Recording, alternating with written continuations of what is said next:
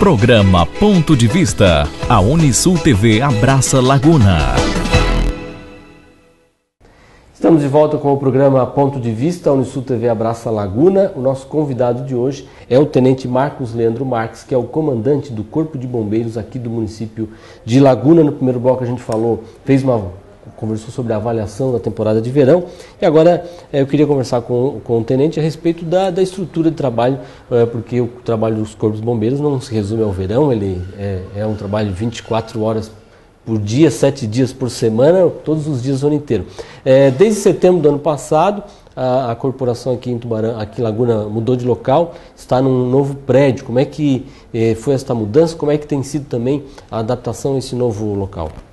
Então, esse projeto, né, na verdade eu estou à frente do comando há quatro anos, então quando eu aqui assumi o comando eu tinha né, é, como meta a mudança né, do local em que estava instalado o quartel do Corpo de Bombeiros de Laguna, que era um local provisório, era um local né, que tinha um espaço de 10 por 11 é, dentro da, do próprio quartel da Polícia Militar e ficava localizado na ponta da cidade. É, então a gente precisaria né, centralizar o quartel, porque eu, né, a gente faz o levantamento estatístico no EU93, nosso programa né, de, que gera as ocorrências, e a gente verificava que todas as ocorrências né, eram mais em direção ao bairro Portinho, Progresso, aquelas imediações e indo em direção à BR. Então, é, ao longo de um ano e meio, é, a gente conseguiu a área né, que é, era do IBAMA, né, sob tema de cessão de uso, veio ao Estado de Santa Catarina com o objetivo de instalação do quartel do Corpo de Bombeiros Militar de Laguna.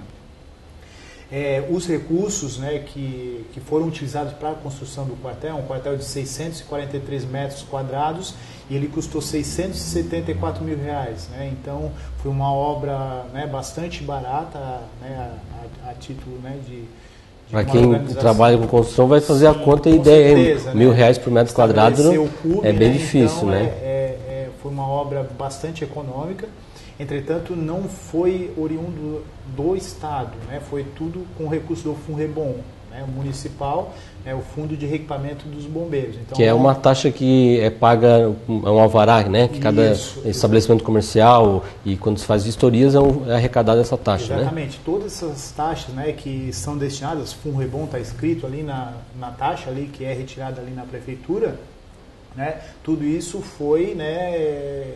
Foi o recurso destinado Sim. para a construção. Então, ao longo de três anos, né, desde 2013 até 2016, a gente veio economizando né, para construir esse, esse quartel. É, a gente está ali, como você falou, Rafael, desde setembro, entretanto, a gente não inaugurou o prédio por quê? É, é, estava destinado um recurso no valor de 263 mil reais para a urbanização do quartel. É, esse recurso, sim, é vindo através da Secretaria de Segurança Pública. Entretanto, né, entrou em período eleitoral e acabou não sendo possível fazer a licitação. É, semana passada, agora, a gente teve uma boa notícia, foi autorizado pelo grupo gestor do Estado e está sendo lançado a licitação pela SSP. Então, tão logo né, seja finalizado o processo, né, a gente vai ter é, então a, a, a, essa construção e aí então a gente vai fazer a inauguração.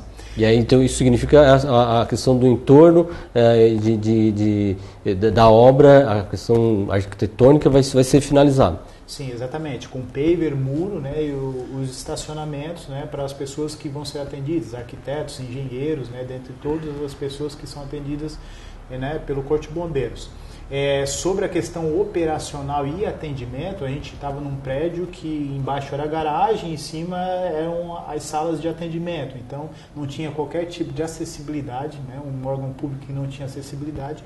Hoje tem né, tudo, é, é, condições de acessibilidade e principalmente né, com a densidade de ocorrências, tudo né, para aquela região lá da cidade, a gente conseguiu reduzir em média seis minutos o atendimento. Então você, quando aciona o Corpo de Bombeiros, né, aciona 193, é você ter seis minutos a menos de espera no local de uma ocorrência, vendo muitas vezes uma pessoa passando dificuldade. Então isso é de grande valia, né? A gente está conseguindo né, melhorar muito mais né, o nosso atendimento com essa redução do nosso tempo-resposta. Em termos de estrutura de equipamento, mudou alguma coisa? Vocês ainda estão trabalhando com a mesma estrutura que tinham eh, em termos de viatura e de equipamento de salvamento, com o que tinham no espaço anterior, que era muito menor, mas agora nessa área maior, eh, foi possível já ampliar isso ou ainda também é passo a passo, com mais recursos vão ser necessários? Não, vai ser passo a passo, né? os recursos que a gente tinha, também com o recurso Funrebon, a gente comprou esse caminhão novo né, de combate a incêndio, equipamentos, né, de resgate de ponta, né, tudo equipamentos né, importados. É, então a gente já tinha equipamentos né, adequados à atividade. Logicamente que com né, a, a, construção do quartel a gente ficou impossibilitado de fazer investimentos de grande monta em equipamentos, é, mas a partir desse ano já né, com a finalização das obras a gente vai conseguir né, fazer é, o incremento dos equipamentos de resgate, equipamentos de proteção individual dos nossos bombeiros, aquelas roupas de proteção de combate a incêndio, equipamentos de proteção respiratória. Então, todos esses, esses materiais são projetos, já está no plano de aplicação para esse ano e para o ano que vem a incrementação dos equipamentos dos bombeiros de Laguna. Hoje aqui em Laguna, uh, o senhor citou no bloco anterior a questão da, da do número de, de, de de atendimentos no verão, mas ao longo do ano também as, o que indicam as estatísticas, quais são os principais tipos de atendimento que vocês acabam sendo chamados? Então, aqui na região, Laguna ela é a segunda né, maior cidade e o Corpo de Bombeiros também é o segundo que mais atende ocorrência na região. Né? Tubarão hoje lidera o número de ocorrências atendidas pelo Corpo de Bombeiros anualmente. Ano passado atendeu 3.800 ocorrências, Tubarão, e Laguna 2.400 ocorrências ano passado. É, a estatística de 6 minutos a menos de tempo-resposta foi obtida através das nove, mais de 900 ocorrências atendidas do início desse ano até o dia de ontem, que eu fiz esse levantamento. É, então, a, a, grande maioria, né, a, grande, a grande gama de ocorrências que a gente tem é realmente com a nossa ambulância, nosso auto-socorro de urgência, que a gente chama.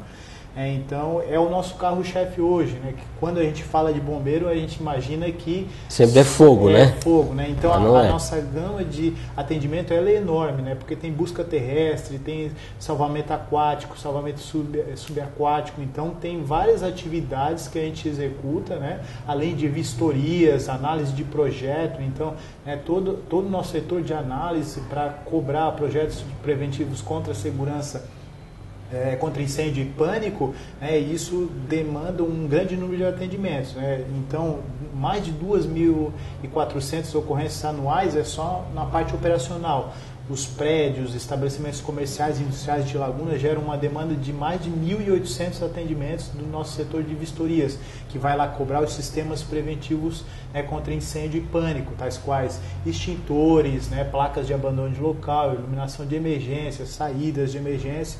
Então gera uma gama bastante acentuada de ocorrências. Bom, por isso que é importante né, o uso consciente da população. Inclusive, é, a gente vai, começar, vai encerrar esse bloco agora, mas eu já quero deixar uma primeira pergunta e uma, uma orientação para o nosso telespectador, que é ainda sobre a questão do uso do telefone e que se evitem os trotes. Mas isso a gente fala no bloco seguinte. A gente faz uma breve pausa aqui no programa Ponto de Vista, no Sul TV Abraça Laguna. Hoje o nosso convidado é o Tenente Marcos Leandro Marques, que é o comandante do Corpo de Bombeiros aqui de Laguna. Uma pequena pausa, a gente já volta.